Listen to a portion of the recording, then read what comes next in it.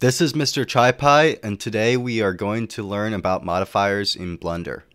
Modifiers allow us to quickly make complex modifications to our mesh non-destructively. So to find the modifiers, we go over to our side properties panel, and under this wrench icon, we got our modifiers. There are four different categories of modifiers. We got modify, which modifies the data about our mesh vertices. We got generate, which adds or subtracts vertices and makes other modifications. We got deform, which modifies the location of our vertices. And we got simulate, which do physics simulations, such as cloth or fluid. Now the simulate ones are a little bit weird because if I add it here, it doesn't have any settings and you have to go to the physics tab, which is the last one, to go to the settings. Okay, so the first one we're going to learn about is the subdivision surface. So we go to add modifier, generate subdivision surface.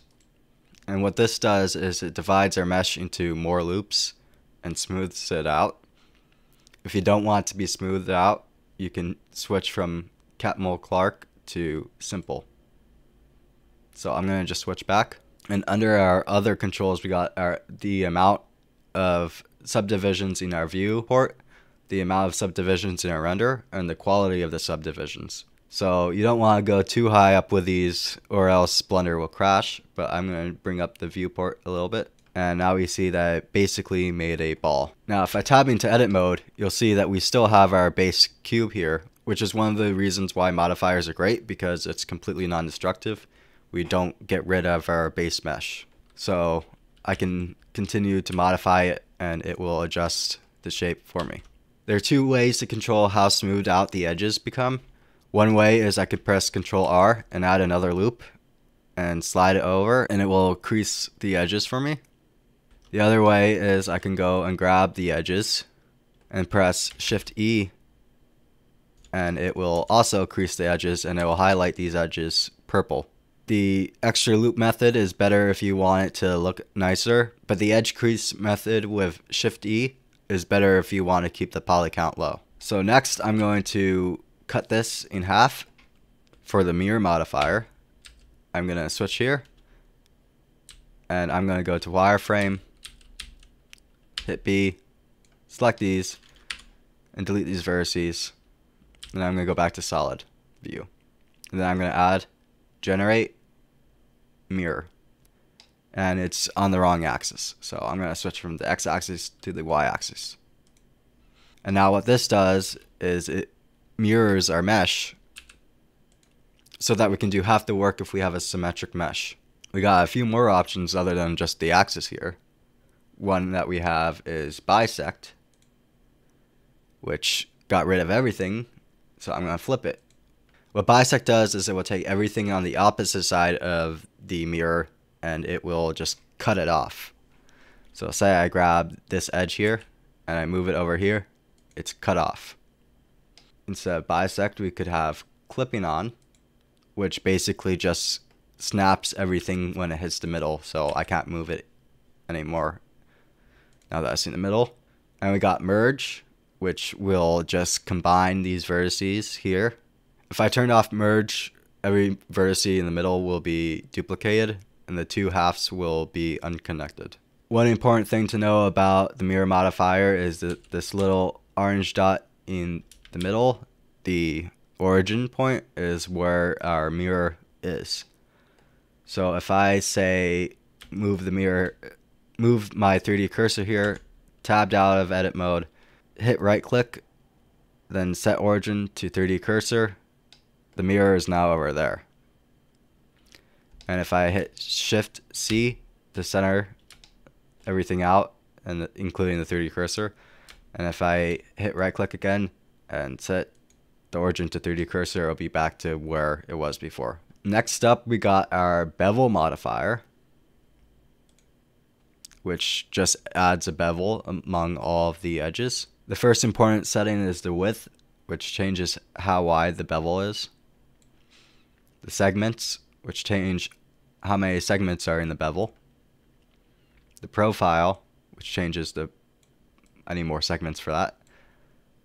Which changes the profile of the, the bevel and the material which will decide what material slot goes onto this bevel. We also got different limit methods so I could limit where the bevels are placed by the angle. So if I had like a curve area where I don't want the extra bevels, it will not do it and only put it on these sharp edges. Other important settings include only vertices and clamp overlap, which will sometimes fix some weird issues that you're having if you turn it off. Next up, I'm going to go with a weighted normal modifier, which goes well with the bevel modifier. So if I hit right click shade smooth, you'll see that the smoothing is kind of weird. So if I add more segments, it will improve it, but that adds to the poly count. So if I only wanted to have one for maybe a game where you want to keep the poly count low, I could go to this triangle, turn on auto smooth under normals. Then I could go back to the wrench to add modifier for weighted normal and it will modify the normal's direction based off the face area, which will make it look more like the high poly version. Next up, I have a little plane, and let's say I want to make this thicker. Well, I could easily do that by adding a solidify modifier. And this adds just a little bit of thickness to our plane. And I could maybe subdivide it and it will continue to be thicker. So this is good for like making cloth. Next up, we're gonna go with an array modifier, which basically just adds more of these. And I can move the offset to give a little bit of space. I have different count modes, so I could do it by fitting a curve maybe if I have a curve. I have different types of offset, such as relative offset, which does it based off the size of our model. I got constant offset, which does it based off of actual measurements like meters or feet. And I also got object offset, which I could add in. And this is useful if I wanted to add like rotation or scaling to it. So I could add an empty, and I'll just use a plain axis. And I'm just to go and select my cube select my empty, select my empty, and now I can rotate it maybe along the x-axis and this would be good for making chains where I could take each chain link and rotate it along an array. Could scale it and each of these would get bigger. Next I got the triangulate modifier which simply triangulates all of our polygons in our mesh which can be useful if you're like exporting because some of the settings don't work with n-gons, which are faces with more than four sides. Next up, let's say I have a super high definition mesh like a sculpt that I need to bring the poly count down for. Maybe I'm putting in a game. I could use the decimate modifier to automatically do that for me. So I could bring this ratio down and it will try to keep the same shape but with a lower poly count. And there's different modes, like there's clap, there's unsubdivide, which will work a little bit differently. There's planar, which does it based off angle. So all these work a little bit differently and give different results. Now this is okay for doing something that doesn't have to change shape like a character which is going to animate. But if you're doing the character that's going to animate, you're going to want to do it manually because it's going to cause lots of weird shading issues. Next up, we're going to go with the skin modifier. To do this, I'm just going to go and select all these and hit Alt M at center and have one vertice and I'm going to add the skin modifier. And I'm going to grab my vertice and hit E to extrude. E to extrude again. Maybe I'll grab this other one, hit E to extrude. And what this does is it basically adds mesh around the vertices, which is useful for making base meshes. Now if I select this and press Control A, it will change the size of it. So I could use this to make a base mesh for a sculpt such as making a tree from this. Or I could use it for maybe a person. But now we have a very bad tree or antler. Then I could add a subdivision surface over this to make it smoother. So now my next modifier is the lattice modifier. I'm going to add that. I'm gonna hit Shift A and add a lattice. Gonna go back to my cube. I'm Gonna go to the lattice modifier and select my lattice. Then grab my lattice here. And then hit tab to go into edit mode and I can grab these vertices and move it up and it will adjust the shape of my cube based off the location of the lattice. Next up I'm going to do a curve. So I'm going to go to deform, curve, then I'm going to shift A, add a curve, Bezier, and if you see wireframe this is what it looks like. A little curve. So I can go into this guy and I can select my Bezier curve and it's going to go along this curve. So if I scale this curve up, you'll see it's big. And this cube is going along the curve. And I can move this and it'll keep up with the shape of the curve. And if I hit scale X, it will get bigger and keep up with the shape of the curve. Last modifier I'm going to show to you today is the shrink wrap. I'm going to go and add a icosphere.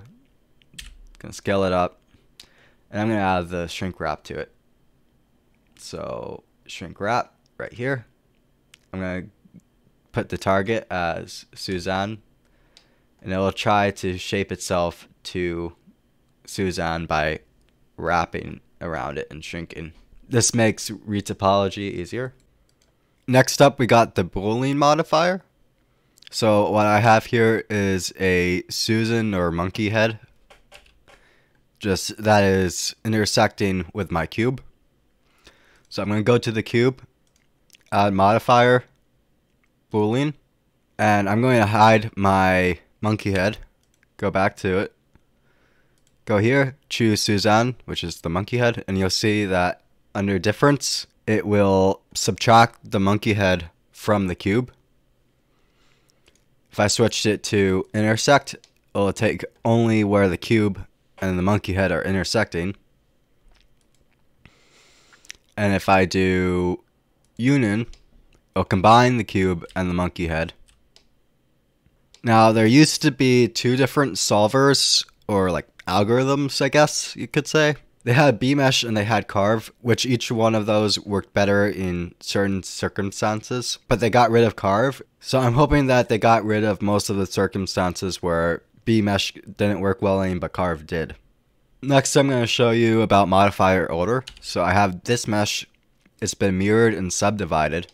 Now, because it was mirrored first at the top, the subdivision surface worked on the mirrored mesh and then curved it.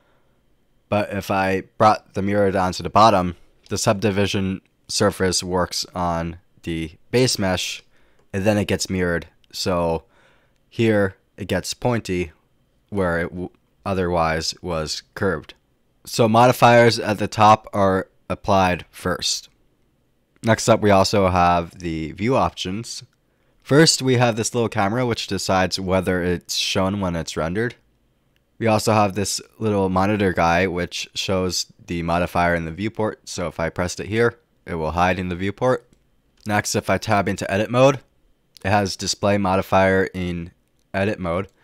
So if I turn that off, it'll hide the modifier. And if I turn it back on, it'll show the modifier, but it'll also have like a cage kind of look for the base mesh. At the end here, we have adjust edit cage to modifier result. If I press this, it'll show the result of the modifier and I can actually edit the modified one. I press it again for the subdivision surface, it's going to give me these curved faces. And I'm going to work on the rocket some more. So I'm going to go to the body and add a subdivision surface modifier on it. Maybe bring it up to 2. And I'm going to go tab into edit mode. And I'm going to go hit 2 grab these edges with alt click and I'm going to hit shifty. I'm going to bring these up a bit. So now that they are smoothed out. Here I'm going to do it with control R to add more loops to crease these. Now one thing is at the top here, we're going to have a little bit of a shading error, which is kind of hard to see because I did a point here. And subdivision surfaces don't like to work well with triangles and polygons that aren't quads.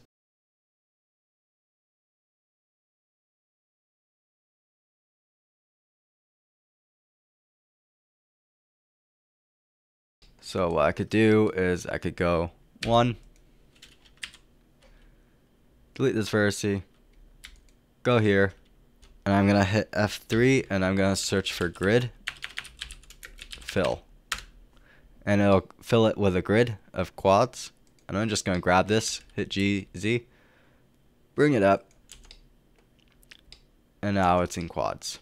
Next up, I'll go here and we'll see a similar issue where I have a five-sided polygon here.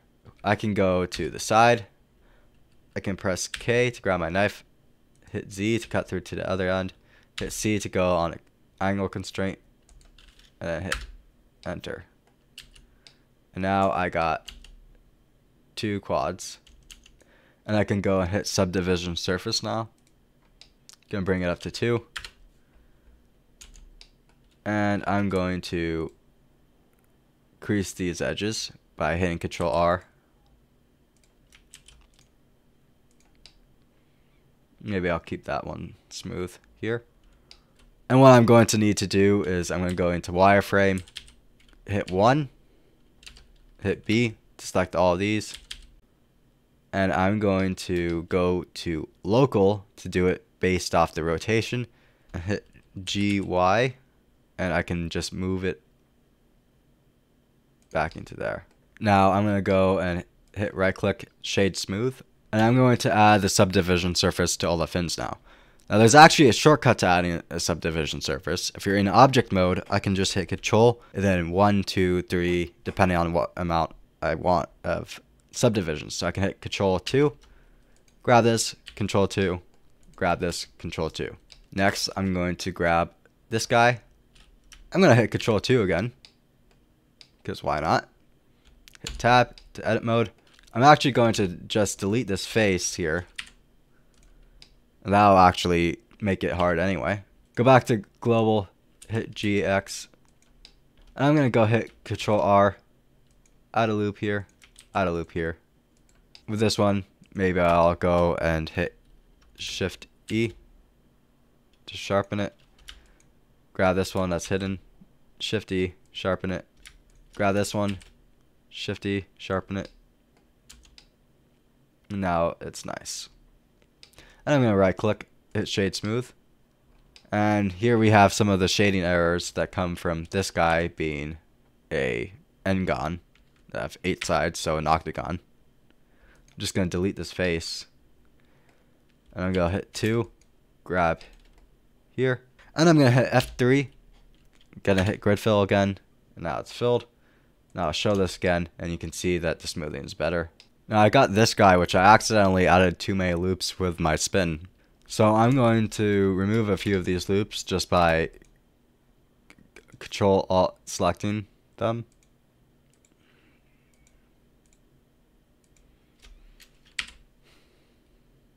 And dissolve edges. Maybe I'll grab this one too. And then I'm going to add a subdivision surface. I'm just going to hit, I'm just going to keep it at 1. And I'm going to go and delete these faces here. I'm going to go into wireframe so I can grab them. And this one. Delete these faces because they're not going to be seen. And I'm going to go and GX a little because it's not inside. Now we got our rocket. This was Mr. TriPie, and thanks for watching. If you like this video, please like and subscribe to help my channel grow. Thank you.